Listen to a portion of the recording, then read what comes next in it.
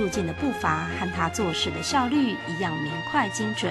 虽然身为董事长，他对公司的大小事几乎都了若指掌，而这家经营的有声有色的公司，却只是他参与的事业其中一部分。像我们有关那个室内照明啊，我们是台湾第一个得到这个中华民国节能标章，哎，所以如果买这些产品都有优惠，政府在不同的阶段都有一些奖励的措施。林柱进来自贫寒的家庭，从小看尽人情冷暖的现实，立志将来要做大事赚大钱，凭着超强的毅力和专注。三十岁拼出事业的一片天，四十岁就拥有足以退休养老的本钱。因着生命中的一个转折，他放弃安逸，继续打拼，把四十岁后的热血全投注在所有对生命有帮助的事业上。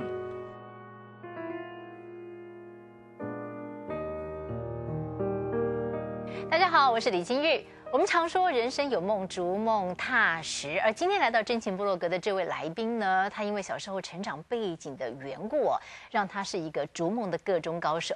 但是他真的感到踏实吗？让我们欢迎林柱进林哥。林哥你好，李姊妹好，各位亲爱的观众朋友大家好。哎，谈谈你小时候的成长环境哦，是因为太穷太苦了，所以你的第一个志愿就是要赚大钱，大赚钱。对不对？哦，我们小时候有八个兄弟姐妹。嗯，你老几啊？我是老二，有一个姐姐。哦，所以是长子。长子要有五个妹妹。嗯，因为当时的观念呢，重男轻女，我妈妈觉得生的一个男生不够，所以连续又生了十四年。那后来要再生出我的弟弟。那我爸爸是拉三轮车为业，好大的工程哦。对对对。所以生到你后面又有五个妹妹，再一个弟弟到了就，终于。对。那我父亲又是以拉三轮车为业，所以收入本来就很有限。嗯。所以什么都要用抢的嘛。对。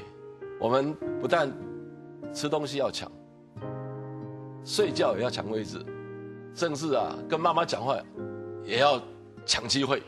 那这样不是很不公平？一定是大的抢的多啊！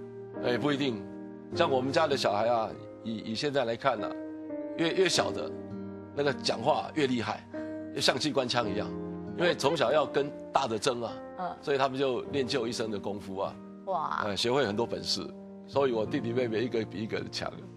连写功课都要抢，这是怎么回事啊？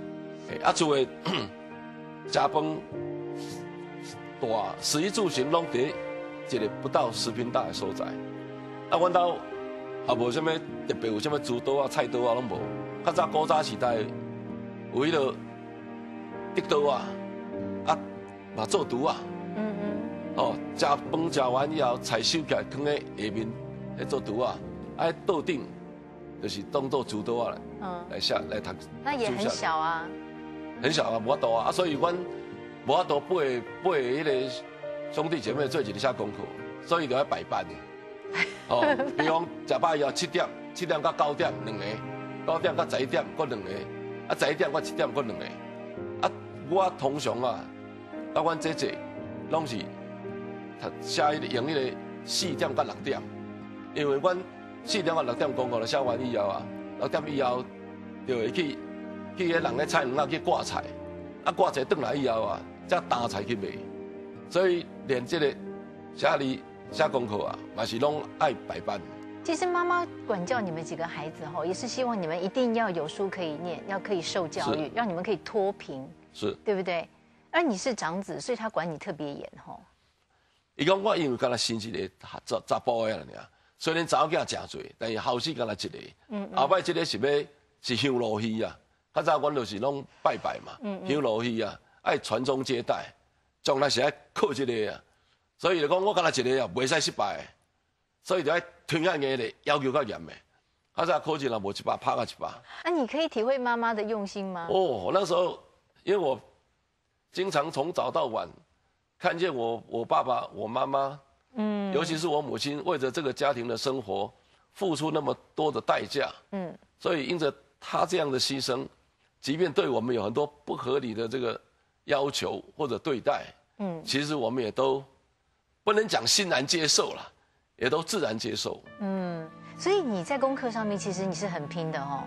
对啊，因为当时家里穷，而且我妈妈在整个家族里面没有地位，嗯，所以我们当时只有两件事讨母亲欢喜，在我们整个那个大的村庄里面，第一个我们家的孩子八个孩子都非常孝顺，那第二个我妈妈常讲，光是孝顺还是不够，将来要有机会出人头地，啊，出人头地的机会就是把书读好，对，嗯，所以我妈妈在。当时我们家族里面或者整个邻舍里面呢，都反对我们继续升学的环境之下，我妈妈还继续坚持让我的读书，让我们读书，即便我们半工半读，但是还是有机会让我们读书。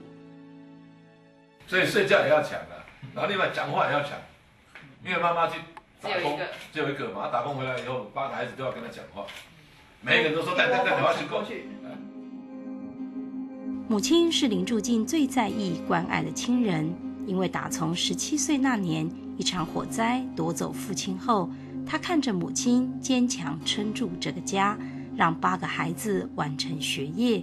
经历这一段辛苦岁月，林柱进告诉自己，再也没有抱怨和软弱的权利。住进呢，啊，就是白天上课，啊，晚上要去做家教。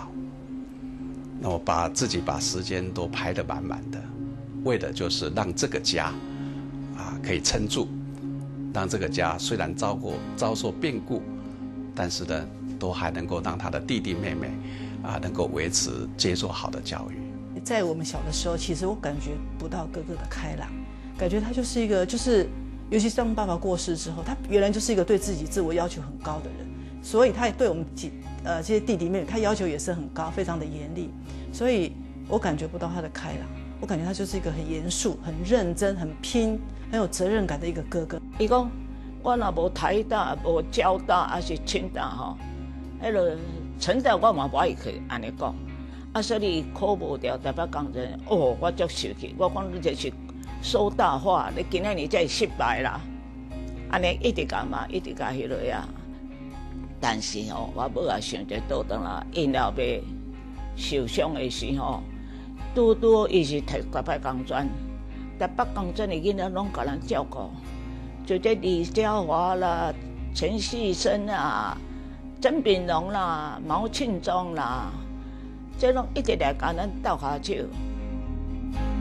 有一个严厉的妈妈，但是呢，林哥却有一个非常慈爱而慷慨的爸爸。但是林哥对爸爸的感情却是相当的复杂。林哥，因为你刚刚说爸爸是拉车子的嘛，哦，所以你小时候有时候看到他经过，如果旁边有同学，你还不认他的哦。我在小小学的时候啊，我常常有几种情形啊，能够明显的发现自己是有严重的自卑。比如说吃便当。嗯嗯嗯，从来啊，不敢打开，不敢把便当打开，因为整个便当里面都是他会超几乎拢是庆崩，超会大的崩。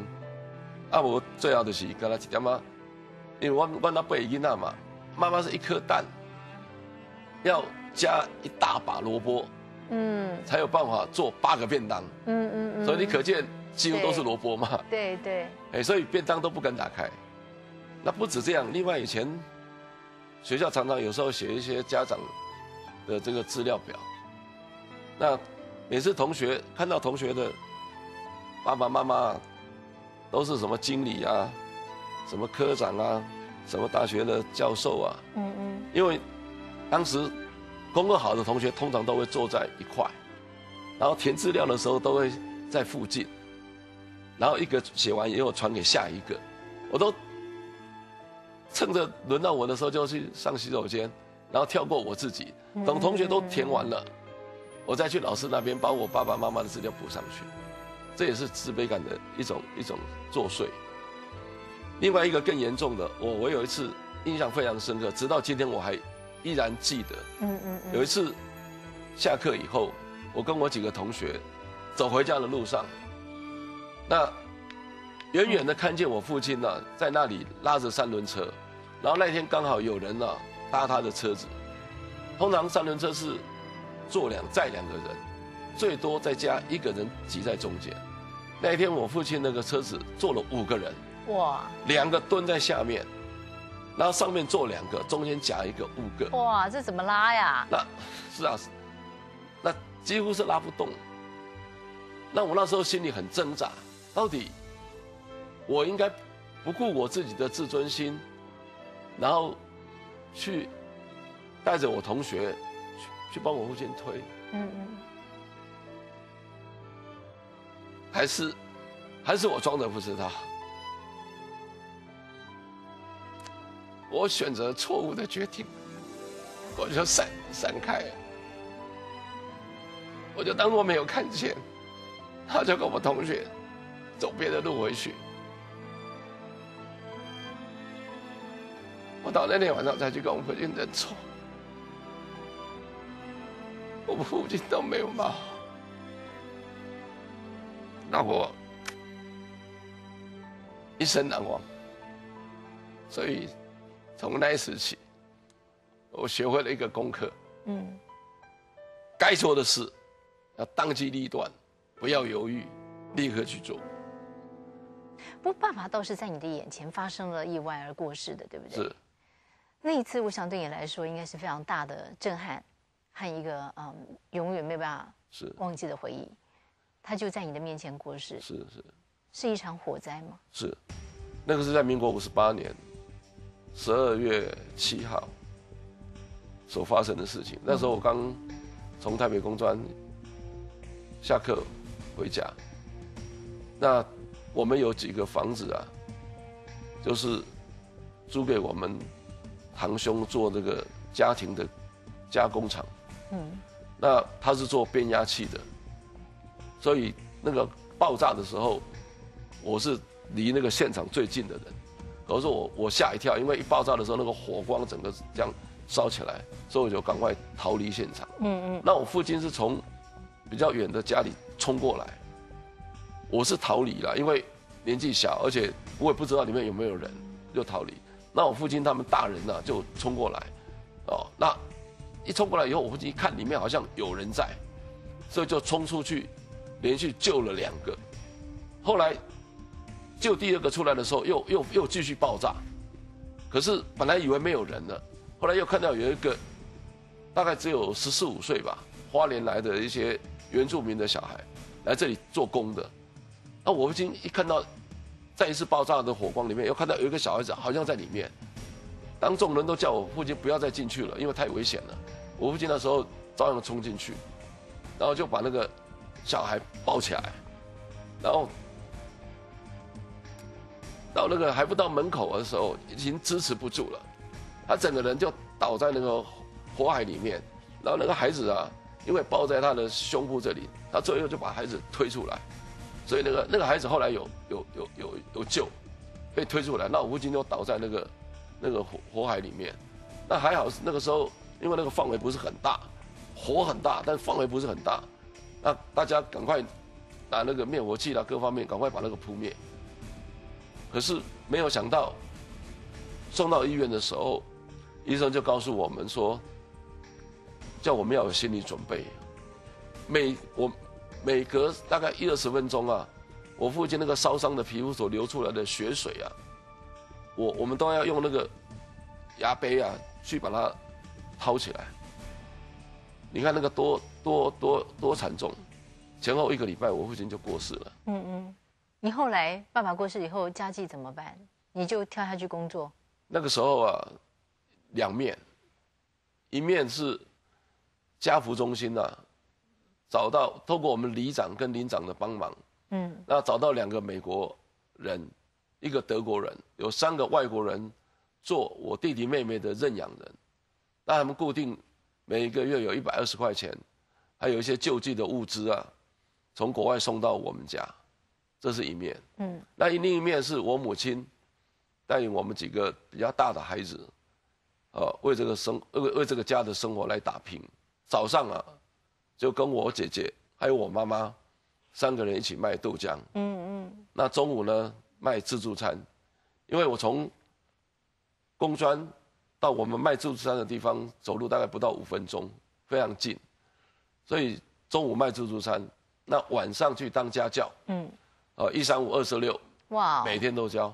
哇。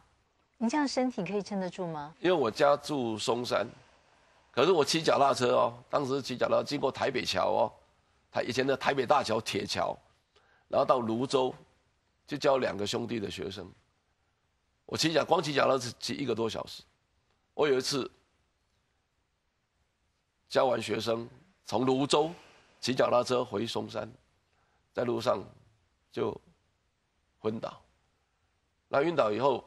大概隔几分钟自己就醒来，哦，醒来的时候哇，满天都星星，那心里其实我这个人有时候也是多愁善感。嗯嗯，我那想说，天上的星星这么多，少了几颗也没有人知道，地上的人也这么这么多，少了我一个又算什么？而且也没有人纪念。那我那那时候就有一个有一个困惑。我人生的意义是什么？嗯，我存在的价值在哪里？难道我就是如此这般像赚钱的机器一样，只为了赚钱养家吗？嗯，我这个问题啊，其实困惑了很久。所以我本来是没有谈结婚的条件跟本钱，但是我说只有一件事，我是可以保证可以做得到的。哦，我说只要你敢嫁给我。我就爱你，负责任到底一辈子。他跟我讲说，如果你讲的是真的。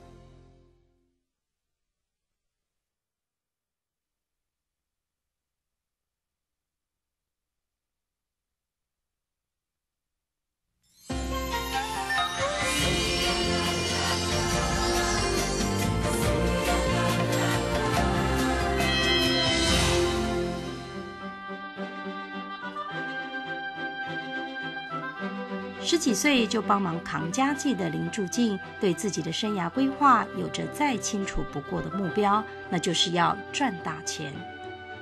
也因着婚后太太的引荐和支持，他参与英业达集团的开创，成为台湾高科技产业的先锋。在充满机会的年代里，他的辛勤血汗真的让他功成名就。啊，比如说呃，生产线。那么，呃，没有像现在整个世界是这么进步。那呃，所做出的品质，却要符合啊世界级的水准，而且呢，不管是成本，不管是交期，都要符合呃客户的啊需要。那所以，当你做不到的时候，啊，朱建常常讲，我一一一百天可能啊。呃，只有这个一天的休息，因为，呃，我们都号称他是叫使命必达，只要只要他的老板说去做，他就去做。相对的，他对他的同仁，我们所知道也是非常的严厉，就是说要求。可是，在有效率而且有成果的情况之下，我们又觉得他的。他所带领的人，每个人都很从内心的里面就是尊敬他、佩服他。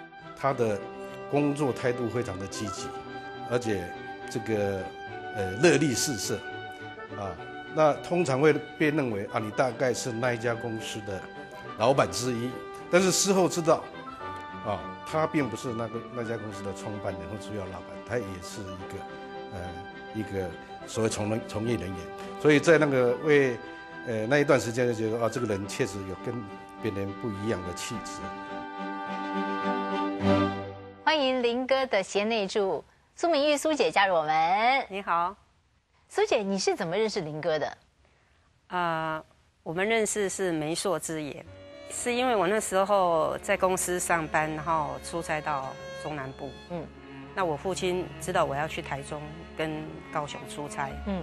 他就告诉我说：“哎，你到了台中，你去看看一个，呃，姓郭的阿伯。”结果我去了以后呢，那个阿伯就问我说：“哎，你有没有有没有男朋友啊？”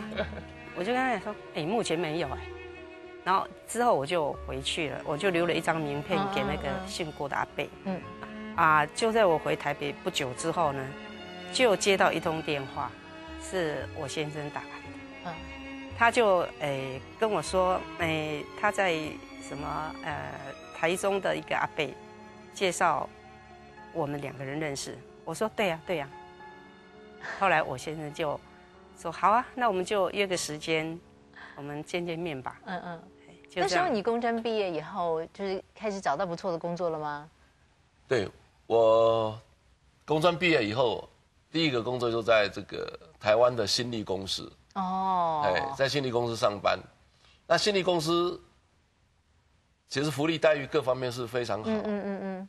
那以我当时不需要尽百分之百的力气啊，大概就可以足以应付工作上的需要。嗯。你那个时候不是立志什么做很多事情，什么三十岁要怎样？嗯，因为因为刚才有提到家里很穷嘛，嗯，所以我当时对自己将来有一个规划。我说我那时候想，我如果没有三十岁，没有干到经理，啊，没有存几百万，我想我大概不会结婚。嗯，当时是这样子想。可是后来在索尼工作几年以后啊，虽然我年年的表现都非常优异，老板。给我的考级奖金、调薪水，都都非常的 top。可可是呢，核对一下目标目标啊，其实发现有落差。哦。那理论上是理论上是立业成家嘛？对我来讲，立业在成家。可是发现说啊立业很难呐。嗯。上班比较容易了，但是要自己创业比较难。嗯。所以觉得既然这个。创业那么难呐，要不然就趁着还没有创业以前就，嗯，能够有机会的话早一点结婚。嗯，所以我本来是没有谈结婚的条件跟本钱，但是我说只有一件事，我是可以保证可以做得到的。哦，我说只要你敢嫁给我，嗯，我就爱你负责任到底一辈子。他跟我讲说啊，如果你讲的是真的，天塌下来我就跟。肩膀跟你一起看，哇！有没有感动到想哭哦？有啊，那时候我们俩就抱在一起哭啊，哭完以后就决定结婚了。所以后来你真的就离开了松尼那个优渥的环境，开始要创业了。对对对。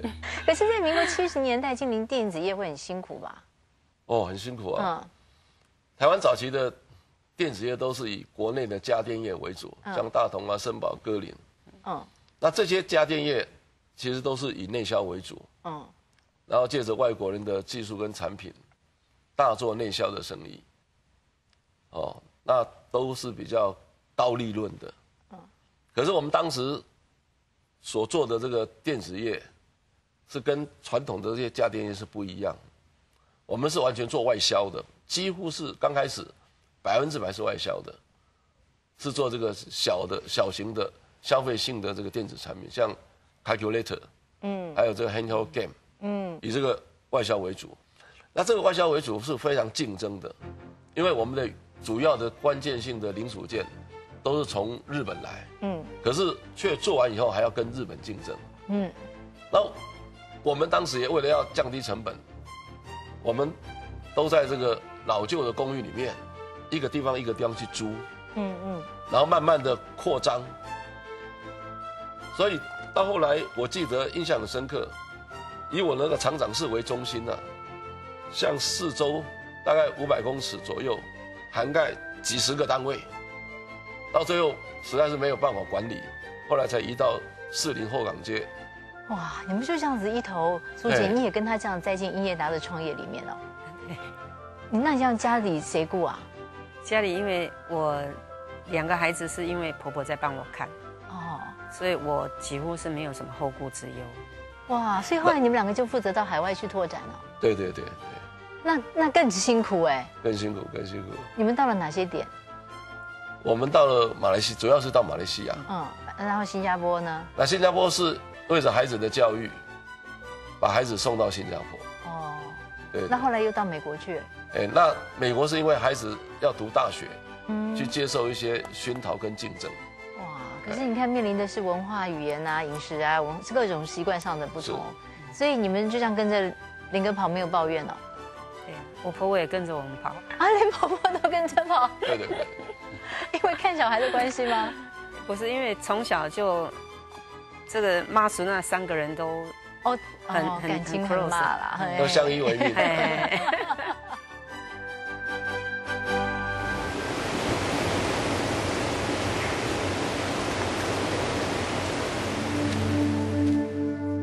成功很早就进入林柱进的生命中，但快乐却迟迟没有跟进。有了钱，有了名，甚至做了许多善事，他还是感觉不到快乐的存在。直到母亲的一场大病，让他终于察觉，快乐原来就在他常看来微不足道的人事物中。每次使命必达，好像快乐了一下，他马上又陷入另外一种，不是说恐惧，下一个使命来的时候能不能完成？所以过去就会觉得他好像不错，可是每次呢没有那么样的快乐。他因为过去穷困，所以他总觉得只要在物质上可以帮助人的话，这个人就会得到满足。我相信，在他助人无数的这个历程当中，他逐渐的发现，不见得是如此。他说啊，只有你们这些老弱妇孺才需要耶稣，他不需要。他说我顶天立地，我仰不愧于天，俯不怍于地，我也孝敬我的父，我也孝顺我的妈妈，我我不我不需要。可是我们不放弃，我们知道说，在人的深处若是没有主，不能满足，所以我们常常为他祷告。我相信在他的里面，他也觉得这些妹妹信了耶稣的确不太一样，所以他也想去认识一个救济。哥哥之前是却是一个非常刚硬的人，甚至连我妈妈都信主了。我妈妈经历一个很大的神迹，神医治她了之后，我哥哥还是不信啊。所以为什么神后来会用那个奇特的方法让他信主？就是说他才是真的是无法抖，就是所以那时候我也觉得哥哥信主是一件真的是很很不可思议的事情。林哥靠着一双手，当然还有身边跟他一起扛责任的肩膀哦，苏姐，是是是两个人在四十岁之前真的已经达到的目标远远超过自己原先所预期的，是，但是林哥却不快乐，没错。为什么？凭良心讲，这个每一年的这个业绩的压力啊，是不断的攀升嘛。嗯嗯，那你从来没有把握，或不根本不能保证你这业绩是不是真能做到嘛？嗯那你只有一件事嘛，过河卒子，勇往直前，就是拼到底嘛。嗯嗯。所以一路都是拼嘛。可是至少你小时候觉得说啊，我我不要再这么贫穷，我要翻身，就翻身啦，全家都翻身啦。对，所以我的矛盾就产生了。嗯，我以前是为着贫穷而拼的，对，那我接着我现在为什么要这样拼呢？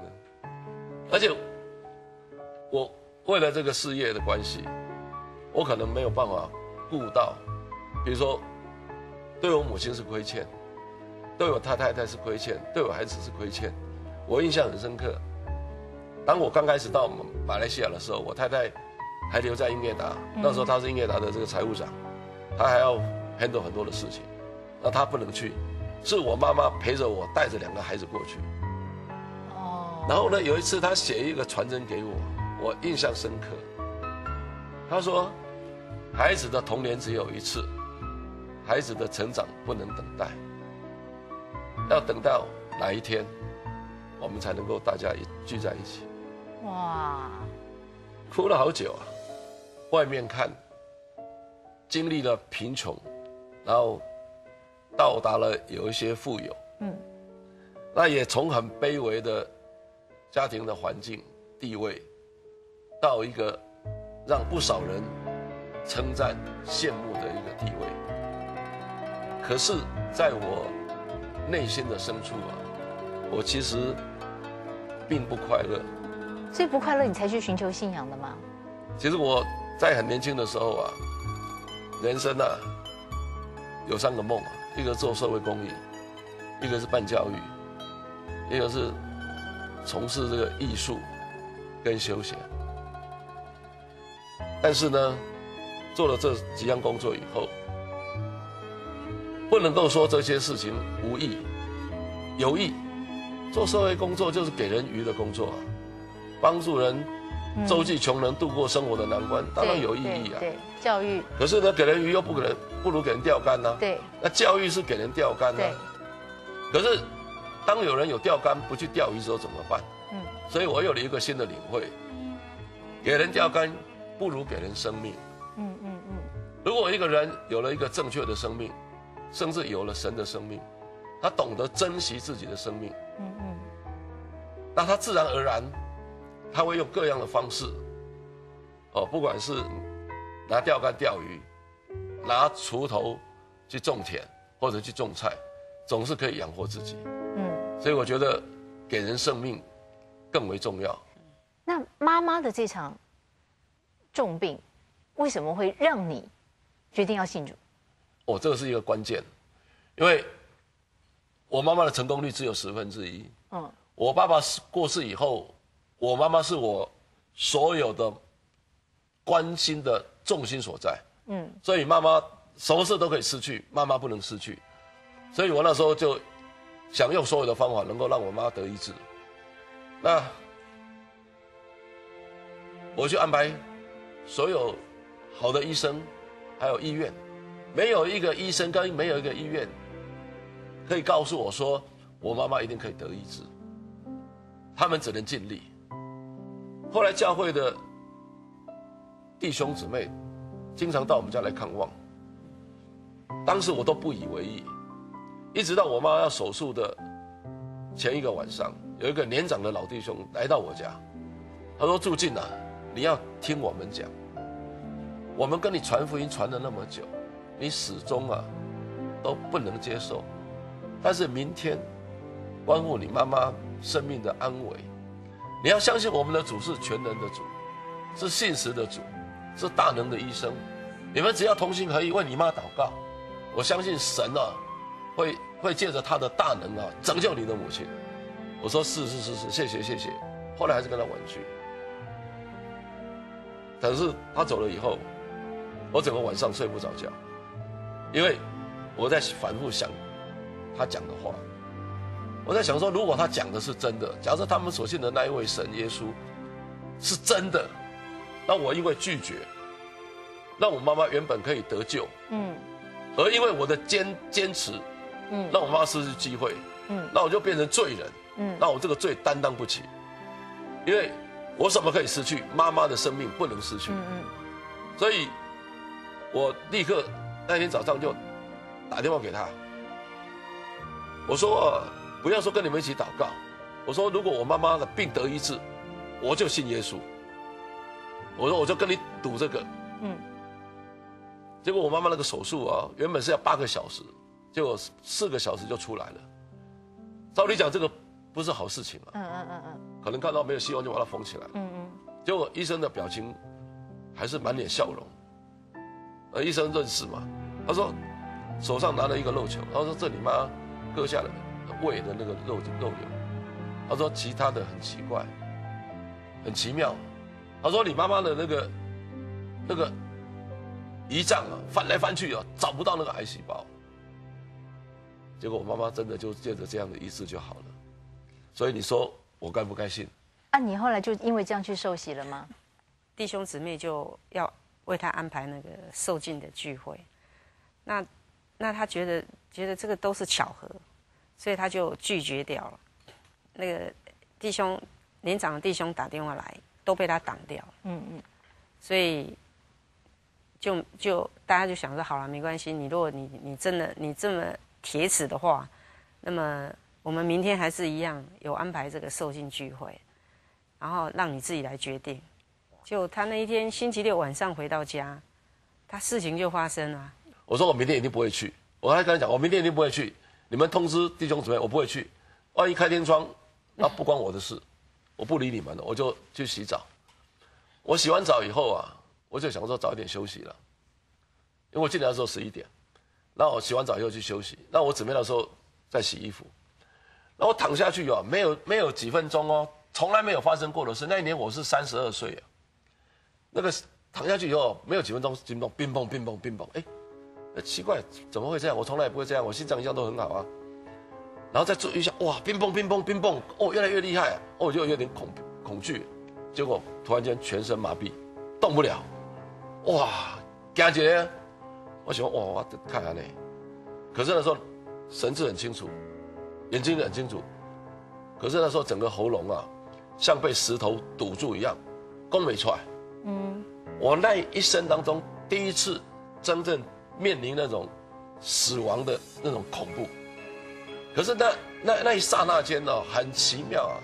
照理讲，我拜文殊公，我拜观世音，我那一刹那却没有想到他们，我那一刹那只想到哦，主耶稣啊，来救我。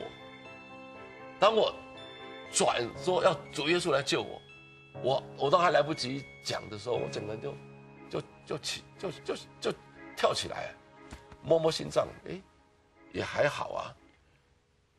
然后我赶快冲出去客厅，我弟弟他们在那里，我就打电话给我妹妹，第一个得救的那个妹妹。嗯，我说秀华，我刚才发生这件事，我跟他讲说我明天要受尽了，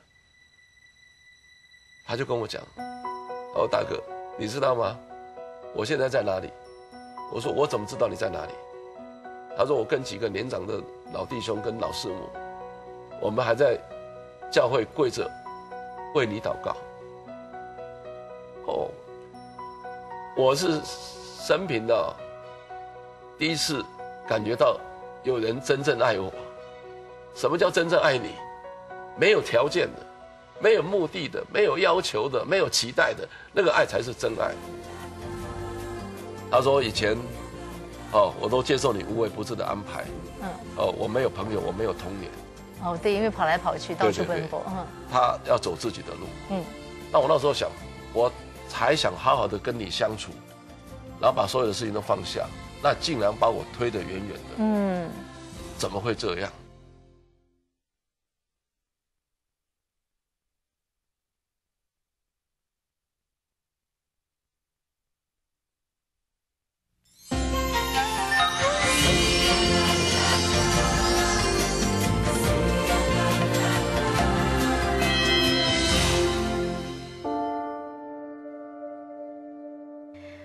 长时间埋首事业，忽略家庭亲情是必然的后遗症。林柱进在四十岁放下事业，决心回归家庭后，才发现他的亲子关系疏离到几乎无可挽回。他曾经对我说过：“我以为我以前以为你们很傻，他才聪明，因为他赚了很多的钱，可以给很多东西给他的儿女。可是他发现他错了，虽然我们没有赚很多钱。”但是我们陪孩子很多，我们也把他们都带到主面前，所以他觉得好像他失去了很多。他所赚钱为谁辛苦为谁忙？当你忙碌的时候，你为了家计要打拼，这个好就一面讲我，可以 maybe 可以同意。但是你已经你已经有你所要的了，你已经得到了，但你不能在这个时候又再来说，那现在换成我要你的时间，就哇。就我需要你的时候你不在，我需要我自己空间的时候你却要进来，所以那时候的冲突在于说，他给我的都不是我需要的。你是我能大胆化身的，随时不相恩如恨。幸好因这相同信仰的维系，在儿子的一场手术之后，终于重圆父子亲情。他经常有口头禅嘛。啊，碰到什么困难，碰到什么怕气不腿，啊，是一个硬汉，一个铁汉，啊，但是在那一个，在那一个他要送儿子要进手术房去手术，竟然这个哭泣，而且嚎啕大哭。这个因为麻药在退，所以他退的时候会会是想吐，那个时候就只有我爸把我抱着，然后我就只这样抓着他的手，我在吐的时候就这样抓着他的手，我那时候就感觉。就好，就好像全世界只有他抓得住我，只有他有那个力气、那个那个力道跟那个手臂，可以让我这样使尽全力的就往他身上这样这样抱起来那样，就只有那个时候。那那一夜，那一夜是很漫长的一夜，但是也是很关键的一夜。我觉得那一天晚上，终于让我觉得说，我需要我爸爸。好，因为耶稣无条件的爱，所以林哥受洗了。后来苏姐呢也受洗了。但是奇怪的是，为了上教会主日这件事情，为什么会常常会跟林哥闹得不愉快？哦，因为你知道，像我们受洗、受浸以后呢，那我们的生活还是留在旧生活里面，所以呃，我先生就常常觉得说，呃，白天呢，礼拜一到礼拜六都已经很忙了，所以他希望是在呃礼拜天的时候，呃，带我们出去走走看看。嗯，那我个人是觉得是说，如果你今天已经是信主了。那主日呢？这个时间应该要分别出来归给主。嗯，所以就常常为为了这种事情，我们两个就会有一点争执。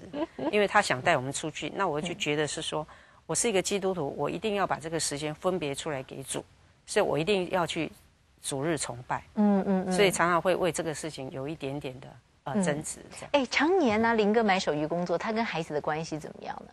呃，他的关系并不是。并不是很好，可是我先生一直以为说，呃，他已经这么尽心竭力了，所以应该跟孩子之间没有什么呃隔阂才对。可是呃，事实上是有很大的隔阂。嗯嗯。因为像之前我们住在新加坡嘛，然后我先生就偶尔一个礼拜或一个月回来一次嘛，那回来以后呢，就就希望把他所知道的全部都加在孩子身上。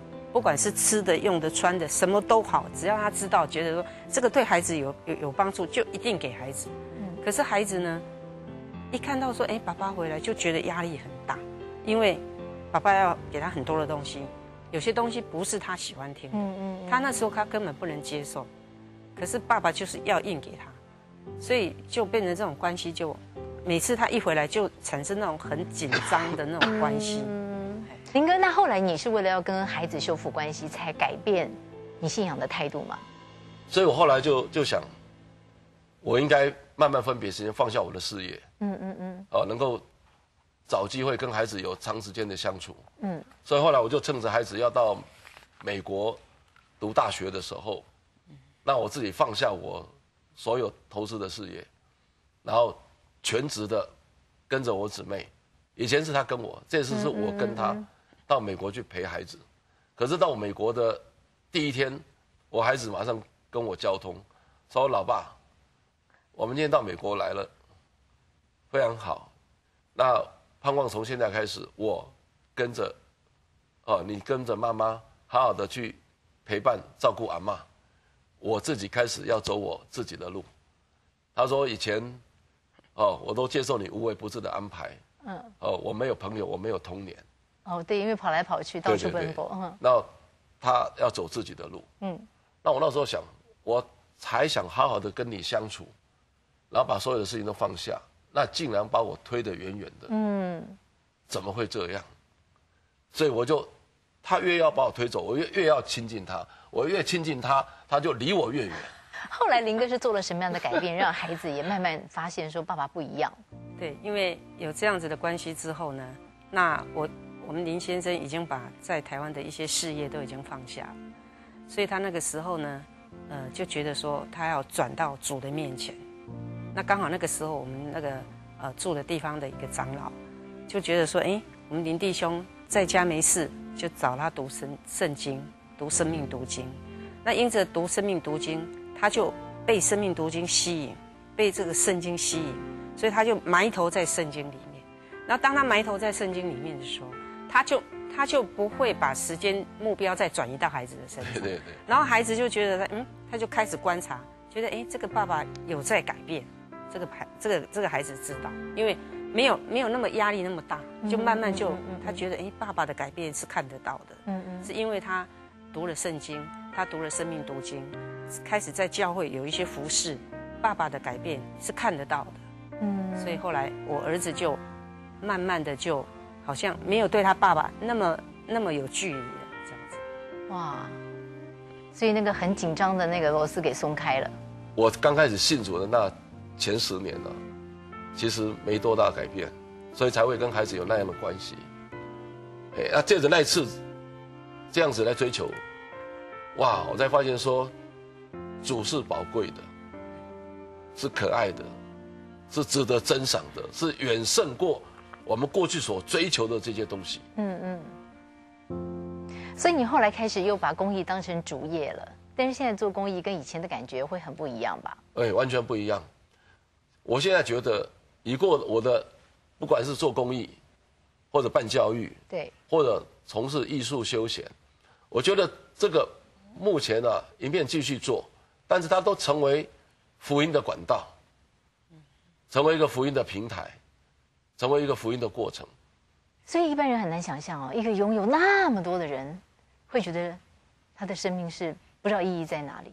我想走到现在，经过好多好多好奇妙的一个历程，那林哥在这里终于可以告诉大家生命的价值是什么了。我们来做最后的分享，好不好，林哥？好，真正叫我里面有永远的满足，乃是在我信耶稣之后，这位主耶稣成为我人生真正的满足。而我之所以愿意投身其中，实在是因为他的爱，他的各方面吸引我，所以我愿意在我四十岁以后。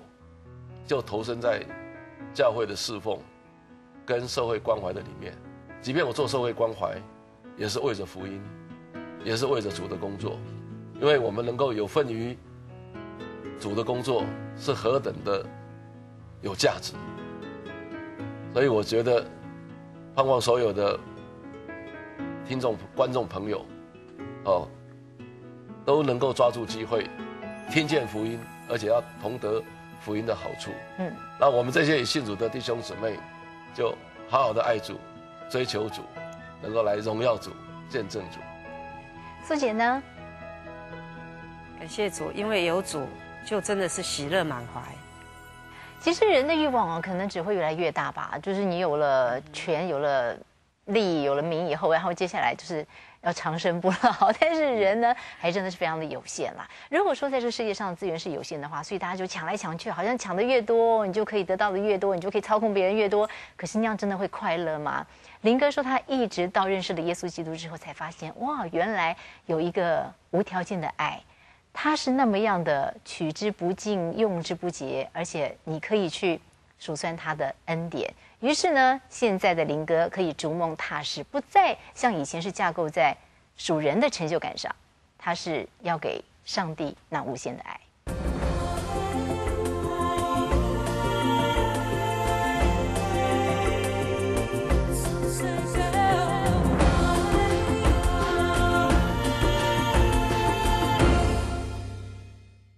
其实我认识朱金大哥已经超过十年了。在我的印象里面，他一直是很开朗的、很快乐的，笑声很大、很感性、很豪爽、很有爱心。但其实我不知道，原来他走过这么段很辛苦的成长的路！成长在一个艰困、贫困的环境里，是不幸吗？其实未必耶。正因为成长的环境里面有这么多的一些难处，使得他们家的兄弟姊妹被紧紧的连在一起。个个都孝顺，个个都认真努力上进，个个都有好的表现，而且真实的彼此相爱，所以环境里的难处反而造就了他们这个很相爱的家庭。因为努力，因为认真，因为想要力争上游、出人头地，所以四十岁就已经功成名就，想要有的都有了，梦都实现。但是。为什么朱金大哥说他好像想要有的东西都有了之后，却仍然不快乐？已经拥有这些了，回馈社会、做公益，这多好的一件事啊！可是好像仍然不满足。那做公益不够，教育吧，教育是解决人根本的问题。做教育，投资大量的心力在在帮助别人，可是好像还是不快乐。那么追求一点心灵上的东西吧，艺术。啊，这些美好的事物，可是为什么仍然好像心中有一个洞是填不满的呢？直到有一天，上帝用很特别的方法得着了灵住境，他的人生不一样了。做公益是好事，艺术这是多美的一件事情，在人生当中能够投资在百年树人，这是多有价值的事情。但是。当林住进的生命当中没有耶稣基督的时候，总觉得好像缺一点什么。有人说，人生各样的努力都好像一个一个零零零零零，这些零堆积在一起，如果没有一位独一的真神在前面，后面的都只是零。但是当耶稣基督进到灵住进的生命里面，前面有那一位独一的真神，后面每一个灵都是有价值的。今天。林住进仍然投资非常多的人力、物力、财力在教育、在公益，甚至在艺术，在各样有价值的事上。可是因为他的生命有耶稣基督，这每一件事都有价值。耶稣是我们生命里面最大的价值，有耶稣就有喜乐。如果你也觉得你好像什么都有，就是不快乐。你的生命里面缺一，那一位独一的真神，来认识耶稣基督。上帝祝福。